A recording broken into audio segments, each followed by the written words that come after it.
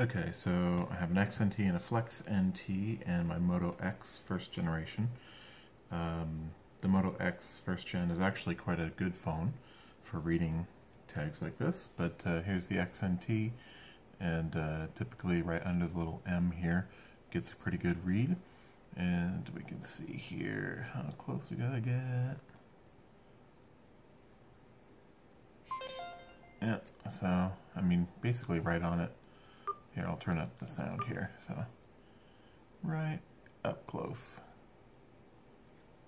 And turn it maybe 45 degrees. Okay, well, normally it's a pretty good phone. uh, what's going on here? I mean, this is kind of the conundrum with the XNT, right? Oh. I guess right on the M is pretty good. Try again. Uh, just above it.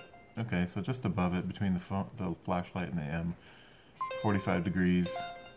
So, again, like, I've used this phone for a long time, and this is the problem finding the sweet spot. So, uh, you can get, eh, I would say probably a millimeter, maybe two millimeters off the back of the phone in that location and orientation. Uh, let's try again here yeah, so that's the sweet spot for the XNT.